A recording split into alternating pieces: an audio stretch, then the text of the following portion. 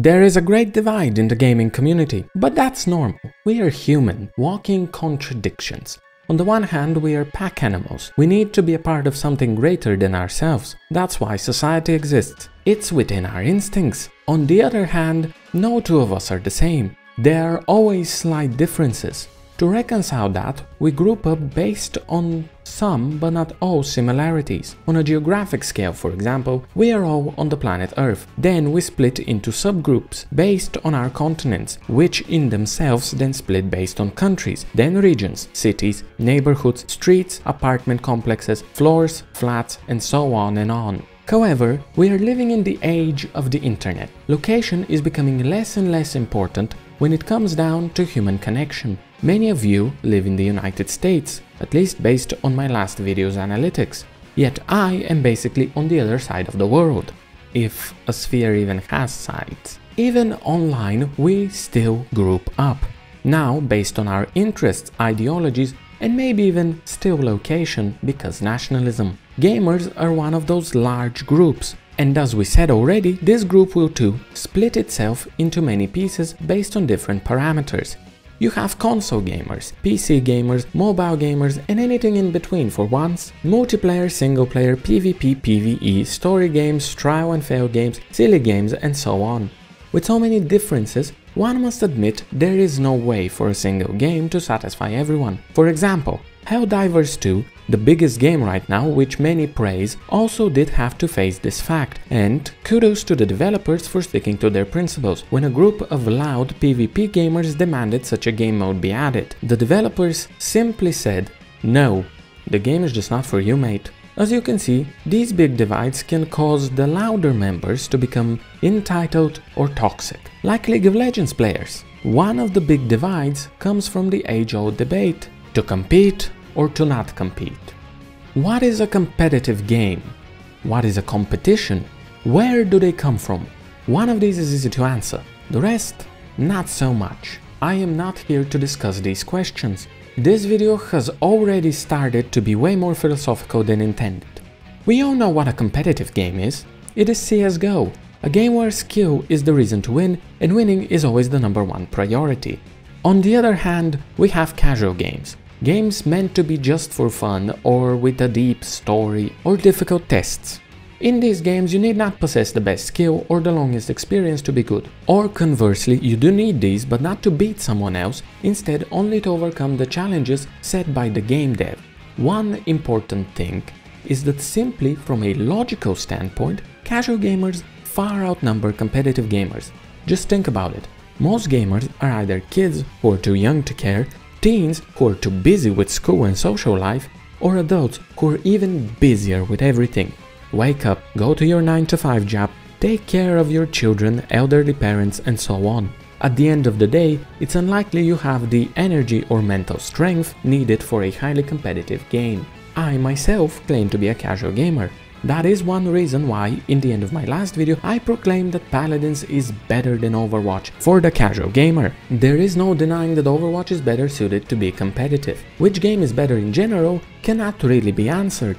It is a personal matter. Still, from the standpoint of large companies, which are almost always driven by the one and only root of all evil, money itself, they would want to target the largest possible audience and thus the casual. Yet they're competitive only games, such as the aforementioned CSGO, Valorant, or its older brother, League.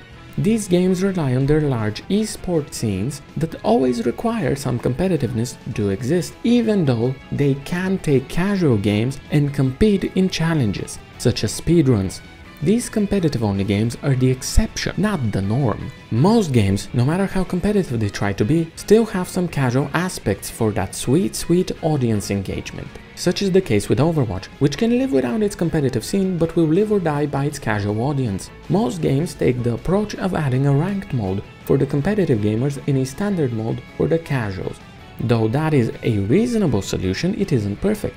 The competitive spirit can, and very often does, transfer into the casual mode, meaning that those gamers who are playing for fun are bombarded by insults for not being optimal. If you've played any MOBA, you know exactly what I mean. Despite all of that, many casual gamers still carry on playing those competitive-centric games, undeterred by the toxicity or just going at it with friends. Such is the case with me and the game from the title of this video. No need to delay it any longer, let's talk about Apex Legends. So, that was almost a page and a half long intro. Nice of you to still be listening. I am the Great Terlik. Thank you for joining me if you are new and welcome back to everyone else. Today we'll talk about Apex Legends, the game that's to me the most casual friendly competitive game. The main meat of this video will be an overview of Apex Legends itself. Then, at the end we'll talk about its casual and competitive aspects to try and understand why I, and hopefully many others, keep coming back to it even when not caring about the win. As before, the video will be split into a couple parts, so let us begin. Apex Legends is a battle royale game that came out in 2019, developed by Respawn and published by most gamers' biggest enemy, EA. Actually, I don't know if this is a controversial opinion, but to me, Nintendo is worse. That's beside the point. For those who somehow don't know, a battle royale is a genre of games that was huge in the late 2010s. It all started with two games, PUBG and Fortnite. Both were very successful and Fortnite for once was actually playable. And boy was it making money. Where there is money, big companies will follow. Unsurprisingly, Hi-Rez, the makers of Paladins known for hopping on trends, made the Realm Royale. There was one about vampires, and if you've ever played the game Battlerite, that had a Battle Royale too. Call of Duty had and actually still has a Battle Royale. There were a lot more, and I honestly don't remember them all. The important thing is that for a while, Battle Royales were constantly coming out, and they were indeed everywhere. While all of this was happening, EA was wondering how to get into the trend. One of their studios, Respawn, was at this point known for their Titanfall series. The games were praised by most, yet in the eyes of Papa EA, they did not bring in enough cash. The Respawn team wanted to keep making games in the Titanfall universe. In one of their so-called action blocks, small game prototypes people in the company would make to pitch ideas, the then young battle royale genre made its way into the discussion, and so it was decided that the next game in the Titanfall universe would in fact be a battle royale. As a consequence, one of Titanfall's key characteristics, the giant mechs known as Titans, had to go. Thus, Apex was born. EA got its trendy game and the rest is history. That's how the game came to be, but how does it play? Apex is a battle royale as we already talked about, but it is also a hero shooter. The two main game modes are duos and trios. At the beginning of the match, every player in the squad picks one of 25 legends, split into 5 groups, Assault, Skirmisher, Recon, Support or Controller. Notice that you can have up to 3 people in a squad but there are 5 classes. This way the game can actually allow for more variation, unlike the opposite case where you have 3 classes and 5 teammates. This can end up with the devs forcing a specific composition on everyone. Overwatch, each class has their own passives and defining qualities. Assault legends are the ones who focus on combat. They deal damage or disrupt the enemies in one way or another. Passively, they can open special assault crates and carry more ammo. Skirmishers are the assassin class of the game. Their abilities help them go in, pick someone out and hopefully get out, so they mainly focus on mobility. Passively, they can also scan care packages from a distance to decide if they're worth it. Recon legends take care of recon, obviously. They gather information before, during and after fights. Passively, they can use special beacons spread through the map to reveal enemies for a while. Support legends are a team-oriented bunch. Their abilities help them protect, kill and in general assist their team. One legend even makes looting way easier. Passively, they also have a special crate that only they can open and, by simply existing, they allow others to craft banners. More about that in a bit. Finally, controllers are the smallest class. They focus on locking down an area, making them less mobile, which in this game is questionable at best. Passively, they can use special consoles to see future rings to help them set up easier. Once everyone has picked a legend, the game begins. A ship flies in a straight line through the map. One person on the team is decided to be the jump master. They pick when to go and where If you're the jump master and you don't want to be, you can pass the responsibility onto someone else, but don't be surprised if it ends up looping back to you. If, on the other hand, you are not the jump master, but you don't like where they're taking you, you can always just unfollow them and go wherever you wish. Upon landing, you start with essentially nothing. Then you loot, finding guns and other resources, fight as the damaging ring shrinks the arena, and the last squad standing wins. Things you can find include ammo, grenades, helmets, backpacks, shields, consumables such as medkits, shield cells, utility items like heat shields, mobile respawn beacons or evac towers. Your health is split into two parts. Every legend has the same 100 base HP and then depending on their armor level has an additional 50 to 125 more. You can heal shields faster though, so that's their plus. How exactly armor works has changed a lot through the years. I'd split them into three eras. The beginning era, armor was as basic as possible, the level you have is how much you get. You can't change your armor unless you find better one. During this time legends would spawn with with nothing on. If I am not mistaken, they introduced a second type of armor for an event. Evo armor begins as the weakest possible variant and levels up as you deal more damage. The player base responded so well to the new Evo armor that eventually we reached the second era, the classic Evo era. Respawn removed all normal armor and replaced it with Evo armor. Moreover, Legends would spawn with a basic loadout of a starter level Evo armor, a shield and a helmet. During this time you could find high higher level armor on the ground, but it was always Evo armor. Also, if you took the armor of your enemy, you'd inherit their progress towards leveling the armor up. This was how things were for the longest time, until the very latest update, Season 20, when the newest era began, the customization era. There is no more armor on the ground, instead, every legend begins with their own custom armor. The armor can now upgrade with much more than just damage. Don't get me wrong, damage is still the best way to get your armor level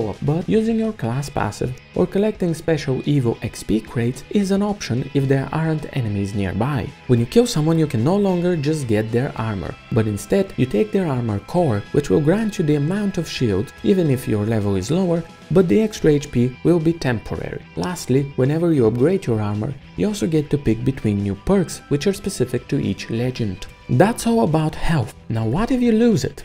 You first get downed, you can crawl around and use your shield for protection. Your allies can pick you up if you don't die again, which can happen by either losing your new health or by a timer running out. When that happens, you're officially dead, but that's not the end. Your teammates can then retrieve your banner and use it at a respawn beacon or use the previously mentioned mobile respawn beacons. Around the map there are also crafting machines, which were majorly changed in Season 20. No matter that, if you have a support teammate, you can use a crafter to make a banner instead of risking your skin. This is more or less the gameplay as you can see, there is a lot. Even so, in the middle of combat, it isn't that much and in fact comes naturally to most gamers, as it is a pretty standard battle royale business. Maps are large and varied, and in general the gameplay is very well made. Still, no hero shooter type game would be complete without the characters themselves.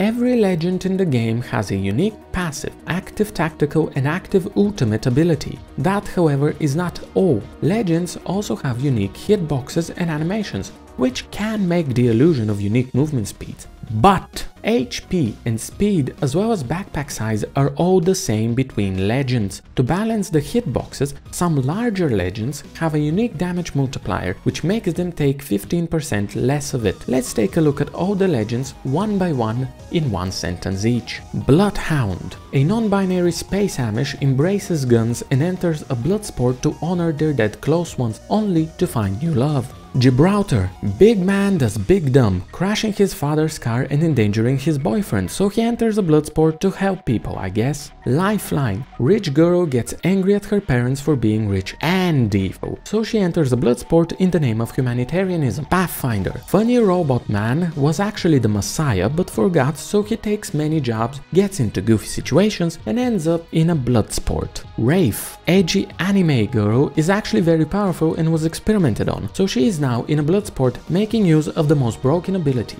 having a tiny hitbox. Bangalore, ex-foot soldier who was on the wrong side of history, enters a Bloodsport to get money in the name of finding her maybe dead brother. Caustic, Gasman made of absolute evil is evil and loves poisonous gas. Also, he's in the games to escape the feds. Mirage. Goofy Man is actually severely depressed because his mom has dementia and he feels like he amounts to nothing. So, he joins a blood sport to cope. Octane. Junkie Daredevil lives for the thrill and blows his own legs off, so he joins a blood sport to keep his ADHD ass entertained. Wattson, French girl whose father made the ring of the games, enters them after dad dies for reasons I don't know. Crypto, professional hacker hacks the wrong guy and gets his sister disappeared, then enters the games for retribution. Revenant, killer robot does not know he's a robot until he walks off a giant glass shard in the neck and then gets mad, so he gets put into a blood sport to calm down, but he doesn't. Loba, professional thief whose dad was killed by a mad killer robot enters the games after said robot does so to try and take revenge. Rampart, Silly engineer has her shop burned down to the ground, so she enters a blood sport for fun. I'm actually not quite sure in this one. Horizon. Brilliant scientist somehow survives the event horizon of a black hole, but time travels as a result, so she enters a blood sport to find a way to travel 80 years back. Fuse! Funny Space Australian enters a blood sport because Space Australia and ends up finding love in his 50s so it is never too late. Valkyrie, the daughter of a great mercenary who was killed in the revolution, enters the Bloodsport to carry on his legacy. Seer, evil moon hippie, does big business with the evil head of the games and then enters them for some reason. I don't really care about Seer. Ash, Robot Assassin remembers her human life and doesn't like it, so she enters a blood sport because killing is a fun way to get your mind off of things. Mad Maggie, a warlord from Space Australia gets sentenced to death by bloodsport, even though that's not how the Apex games work. Newcastle, ex-soldier who fought for the bad guys, moved on but had to enter bloodsport to protect his family, eventually bumping into his sister. Vantage, a mama's girl enters herself and her pet bat into a bloodsport to clear her mom's name and get her out of prison. Catalyst. A moon mystic sticks by her close friend until shit gets wild, so she enters the games to fight the evil moon hippie. Ballistic. Ex-Bloodsport star comes back to the scene so his son doesn't get himself killed and surprisingly keeps up with the youth. Conduit. A somewhat delusional girl gives herself space cancer so she could stop cosplaying as a contestant and straight up enter the Bloodsport itself. The Legends personalities are definitely a highlight of Apex and luckily Respawn knows it.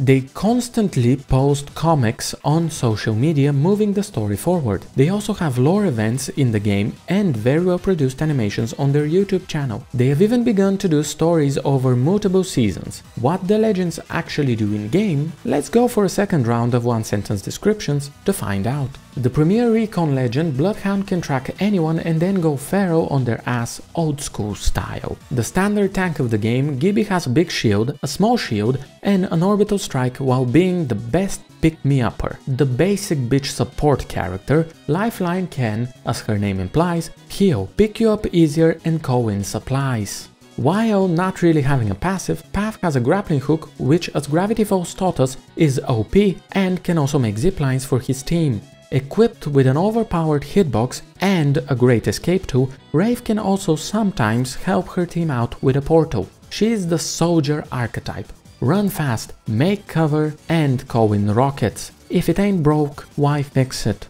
As he is the gas man, Caustic uses gas traps and gas grenades to slow and damage his enemies, or more likely to herd them like sheep. The funny man uses clone tech to distract his enemies while picking his teammates up and being a general nuisance. With the power of drugs, Octane can go fast at the price of his health, which luckily automatically regenerates. And he can also make a jump pad.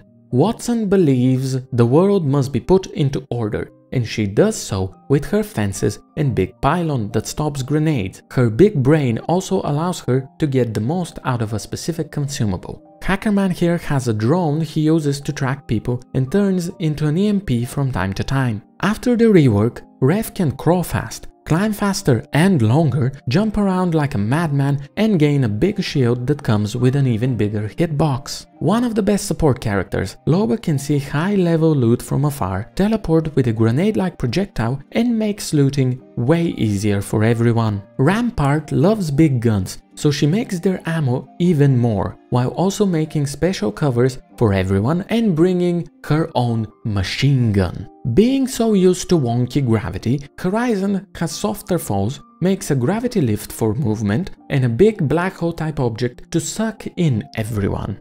As he is a space Australian, Fuse likes bombs, carrying more, having built-in ones, and to put the cherry on top, he can make a lot of fire. Valk flies, launches missiles and can scan people while landing from the ship, which she can sort of do again with her ultimate. By the power of the moon, Seer can scan people in two shapes, one which looks like something YouTube won't like me to talk about and a dome, while also listening to your heartbeat constantly. Ash is a weird combo of finding you through the corpses you leave behind, locking you in place for a bit, and using a katana to teleport. Being a warlord from Space Australia, Maggie here loves shotguns, hates cover, using her fire drill and wrecking ball to get rid of it. The second support tank of the game, Newcastle can make a castle make a wall, and shields you while also dragging you around when he picks you up. Vantage comes with a bat that helps her find people, jump around as well as her own sniper rifle that causes future bullets to hurt more. By the power of magnetic fluids, Catalyst can fortify doors, make spike traps